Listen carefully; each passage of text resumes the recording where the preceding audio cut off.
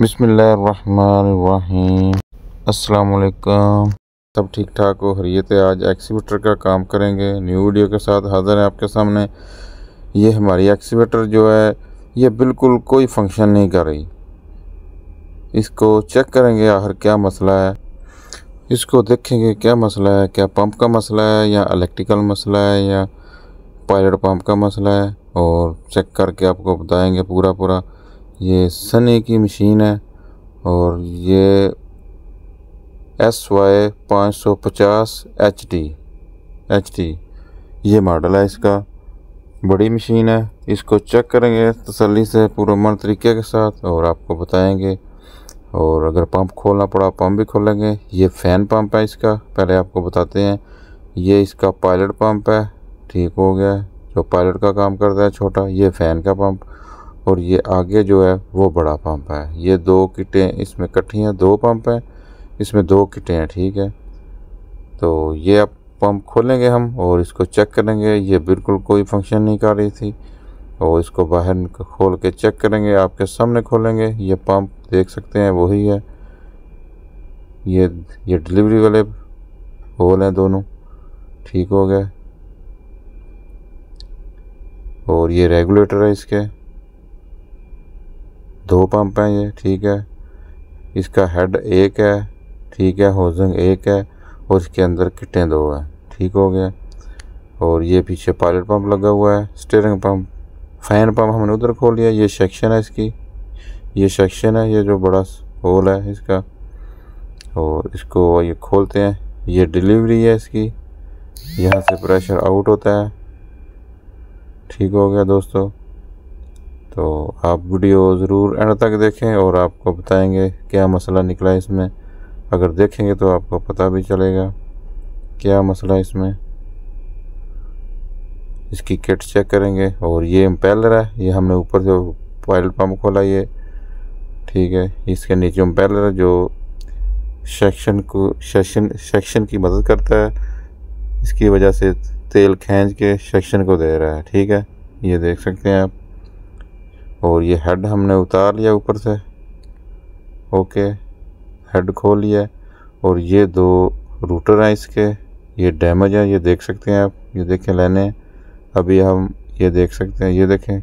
बहुत ज़्यादा कटा हुआ है। अभी आपको मुकम्मल खोलेंगे और मुकम्मल निकाल के चेक कराएँगे, आपको दिखाएँगे क्या क्या वजह थी। ये देख सकते हैं आप जी। ये देखें सारा टूटा हुआ है। केम भी देख सकते हैं आप। और ये ये बुश है, जिसके ये जो ये केम है, नीचे दो केम है और बुश है उसके ऊपर, स्प्रिंगों के ऊपर जो होता है, जो इसका स्पेस को दबाव में रखता है।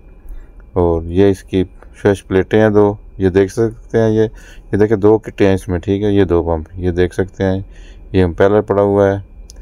और ये देखें इसका तो सत्यानाश हो गया पंप का तो ये आप देख सकते हैं, ये बिल्कुल ही ख़त्म हो गया, ये आप चेक करें। बहुत जुल्म हो गया पंप के साथ तो। यही समझो इसका जो दिल ख़त्म हो गया, ये मशीन मुर्दा हो गई है, इसकी वजह से। ये देख सकते हैं आप, ये प्लंजर देखें, बिल्कुल टूट गए हैं। ओहो, बहुत ही, ये देखें, स्प्रिंग देख सकते हैं, ये प्लंजर देख सकते हैं आप, बिल्कुल टूटे हुए हैं। सही सलामत कोई चीज़ नहीं है। ये हमने केमें भी बाहर निकाल लिए ये देख सकते हैं नीचे से भी। जिस जगह पे केम चलती है, मूवमेंट होती है, वो भी ख़राब हो गई है। और ये रेगुलेटर केम केम स्पूल है ये। ठीक है, ये केम इसके अंदर, ये जो दो गोली हैं, ये दोनों केमें इसके अंदर आती हैं। एक लेफ़्ट और एक राइट में। जब भी केम बैठानी है तो इसमें बैठा के फिर लगाना है अपने। ये देख सकते हैं आप। इधर रेगुलेटर फिट होगा। ये जो छोटी पिन है, ये देख सकते हैं ये सामने, जो मैं हाथ लगा रहा हूँ। इस जगह पे रेगुलेटर की आपने जो कट होता है रेगुलेटर का वो उठा के फिट करना है। वैसे मालूम के लिए बता रहा हूँ। और ये तो पंप बिल्कुल ख़त्म हो गया। ये आप देख सकते हैं देखें रूटर का क्या हाल है प्लंजरों का क्या हाल है स्प्रिंगों का क्या हाल है, और स्प्रिंग प्लेट वो भी डैमेज हो गई है, और प्लंजर प्लेट भी डैमेज हो गई है। प्लंजर प्लेट तो नज़र ही नहीं आ रही कहाँ है। वो तो बिल्कुल ये देखें, ये स्प्रिंग प्लेट है। ठीक हो गया, ये ऊपर, इसके ऊपर जो प्लेट मूवमेंट करती है, जो प्लंजरों के ऊपर होती है, वो तो नज़र ही नहीं आ रही कहाँ गई है। और ये देख सकते हैं प्लंजर फंसे हुए हैं इसके अंदर। और बहुत ज़्यादा डैमेज हो गया है। रूटर प्लंजर ये देख सकते हैं, सब कुछ डैमेज है।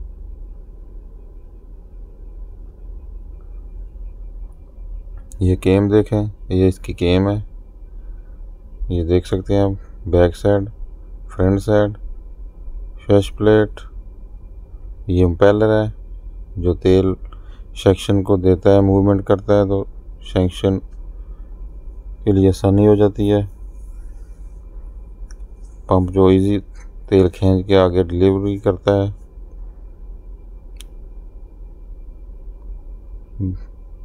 पहली दफ़ा हमने भी देखा कि ऐसा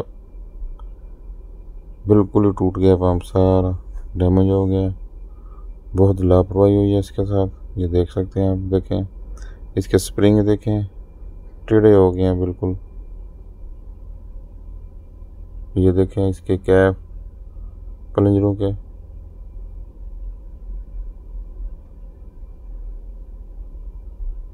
एक सही सलामत नहीं बचा। ये बुश प्लंजर प्लेट बुश, जिसके ऊपर मूवमेंट होती है, वो प्लेट ही नहीं है, सारी टूट गई है। और ये भी बुश, ये भी डैमेज है काफ़ी। ये देख सकते हैं ये प्लंजर ऐसे चलते हैं, जैसे मैंने रखे हैं इस प्लेट के केम के ऊपर ऐसे चलते हैं। ये केम की हालत देख लें। केम भी ख़त्म है। और ये रूटर, ये नाइन प्लंजर वाला रूटर है। इसके नाइन प्लंजर हैं। ठीक है, ये देख सकते हैं आप, ये प्लंजर फंसे हुए हैं और ये कट देखें सेंटर में। ये देखें, बहुत ही गहरे हैं। बहुत ज़्यादा गहरे हैं।